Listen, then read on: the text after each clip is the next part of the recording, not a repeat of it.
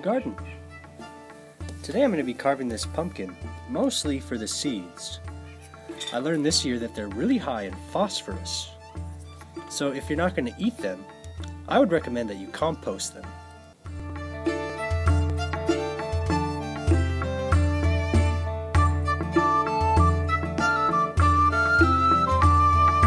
I'm going to carve in at a steep angle. So a nice steep angle like this will give us a solid cap. Last year I actually baked inside of a pumpkin, which was a hmm. lot of fun. The cap did end up falling in because it shrunk as it cooked, and the cake was so moist I think it was basically steamed inside the pumpkin. We'll just cut off some of that material here.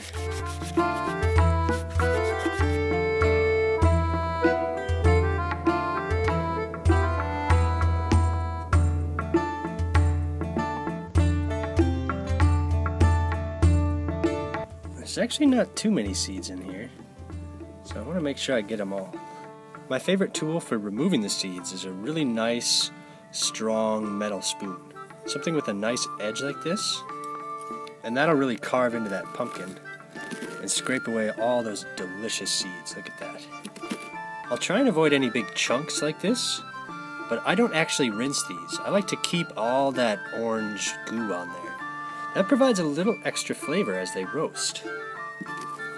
And these big orange pumpkins that are great for jack-o'-lanterns are actually really poor for eating. But the seeds are just excellent. If you're going to actually roast the pumpkin itself, I think you need like a sugar pumpkin.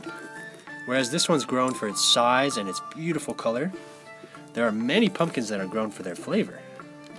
Pumpkin seeds are actually encased in a tough, leathery skin. I recommend you roast them just with the skin on. Actually, getting to the true seed is really difficult. There is a really tough, leathery skin, kind of like a sunflower seed. They're still edible, but they are really fibrous. So this is the true pumpkin seed in the middle.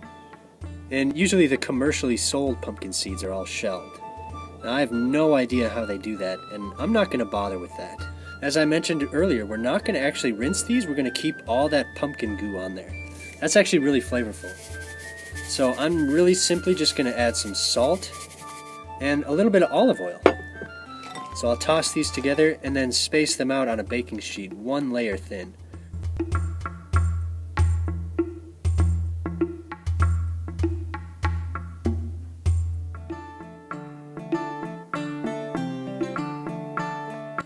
While our seeds are roasting, I think I will carve up a little jack-o'-lantern.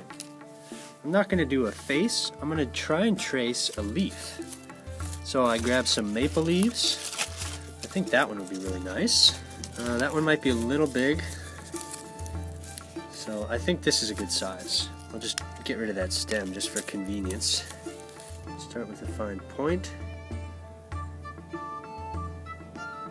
Just try and get it as close to the real thing as possible. But there's half of our leaf. So if we just mirror that, then I think we'll be good. And then we'll just finish off with some of those. So that's a pretty nice shape. So let's see if we can carve that at all. That's the real question. Is can we make it look nice? If you're gonna overcut, you always want to do it inside your shape. And if you can, you want to try and angle your cuts in so that it's widest on the interior, similar to a, castle window. That just allows more light to penetrate through. Now, I'm losing my sun, so I'll try and speed this up, and then we'll see if we can illuminate it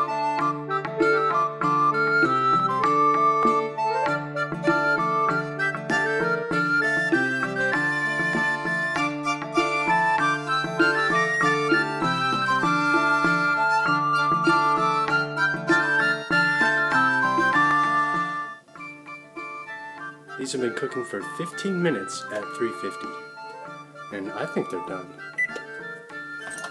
If we take a look, they're turning a sort of a golden brown. Once these cool down a little bit more and just sort of dry out, we can do a taste test. We might want to add a little bit more salt or some seasoning, Cajun spice or even pumpkin spice and they make for a really healthy, really tasty snack.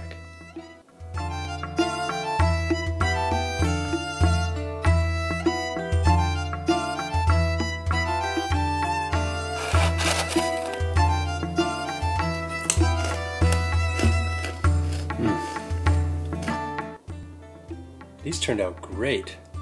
They remind me of popcorn. They're just that perfect little crunchy, salty snack. And the little bits of caramelized pumpkin are the best part. So I hope you give this a grow in your garden, roasting your very own pumpkin seeds. Thank you so much for watching, and I hope to see you next time.